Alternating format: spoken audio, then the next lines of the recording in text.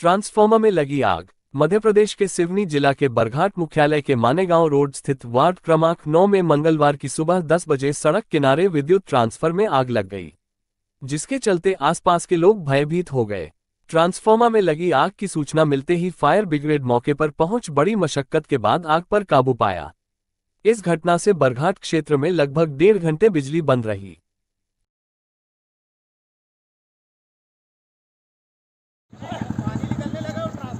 पानी नहीं है भैया ऑयल है ऑयल है और वो फट सकता है। बुलवाओ ना अपना फायर तो।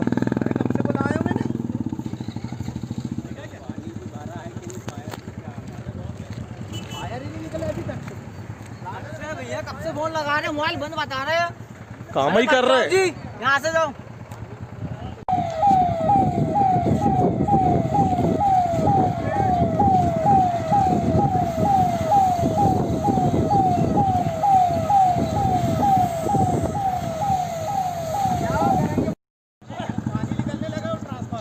पानी नहीं है